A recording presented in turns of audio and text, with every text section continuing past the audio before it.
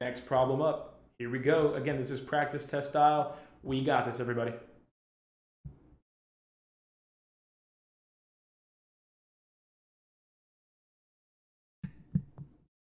Looking at our final 10 seconds here, everybody feel free to start plugging those answers in. What do you have?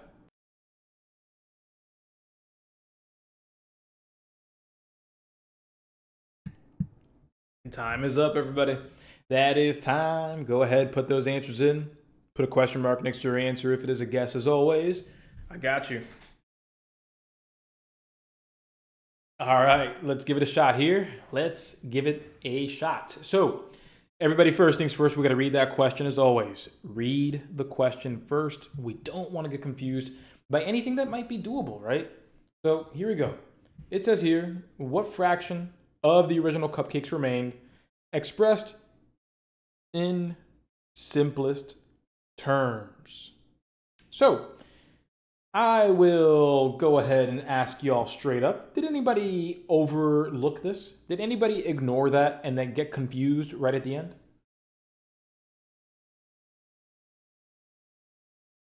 Right, it can definitely throw you off. The question can definitely throw you off if you ignore these little details.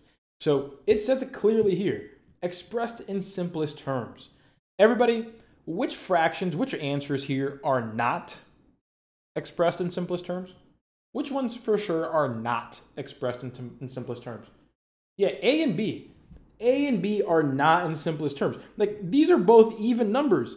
You can simplify that. 30 and 48, both even numbers as well. You can simplify that too. You can immediately cross out A and B because those are not in simplest terms. Immediately. So anybody who picked A or B, you might have overlooked that right here, and that's okay. Again, mistakes are going to happen.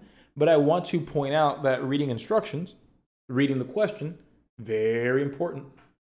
Mari, yeah, I, I am very adamant about reading the question first, but notice how many folks still get confused. And it's because we're not used to that, right? We're not used to trying to find what the goal is first. Sometimes a lot of us are just so used to letting the whirlwind hit you and hoping for the best. And I'm here to tell you, it doesn't have to feel that way it can feel a lot better in terms of feeling like you're in control, feeling like you can manage your test anxiety, and feeling like you can manage it well enough to make good decisions. That's what we're trying to train here. That's what we're trying to learn. And you can do it. Absolutely. So here we go, my party people. We want to know again what fraction of the original cupcakes remained. Okay? That's another big one.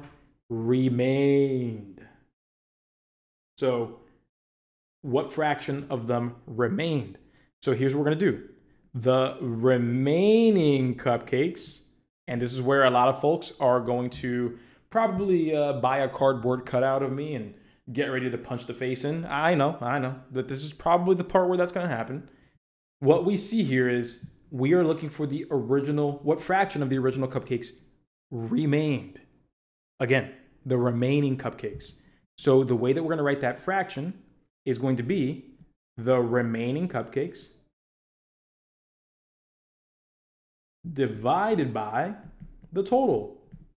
Everybody, what was the total? That's the easier part. How many cupcakes were made for the party?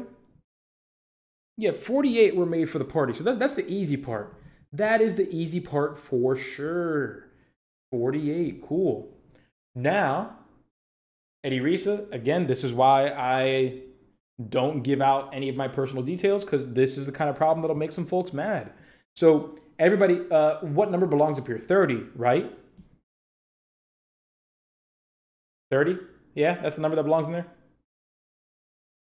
A lot of us are saying yes. These are the same folks that are going to want my head in a moment. So, again, 30 cupcakes were eaten. That's how many cupcakes were eaten. Let's zoom on in on that. Let me make sure that, you know, my eyes aren't aren't rough here. 30 cupcakes were eaten. My party people, does that mean that there are 30 left? No, that does not mean that there were 30 left. Not by any means. What this means is 30 were eaten. If we had 48 cupcakes at the beginning and then we ate 30, how many are left? 18. Exactly. So it's not 30 that belongs in here. It's going to be 18 because 48 minus 30, that's going to be 18 remaining. And so we will have 18 out of 48. So, everybody, did I trick you or did you not pay enough attention? Let's be real. Let's be real. I'm going to run away after I ask this question because I don't want to get hit in the face. But y'all tell me, was it me tricking you or was it perhaps that you just didn't pay attention? It's me, I'm the problem. I love y'all. So I know, I, know, I'm kidding. I've, I've been a teacher for 10 years. I know what the answer is to the question. I'm keeping y'all engaged. You're good. Y'all have nothing to worry about. I'm good. You're good. So let's go ahead then. Once we're here with the 18 remaining out of the 48 original, what's the one last thing that we need to do, everybody? What's the one last thing we need to do?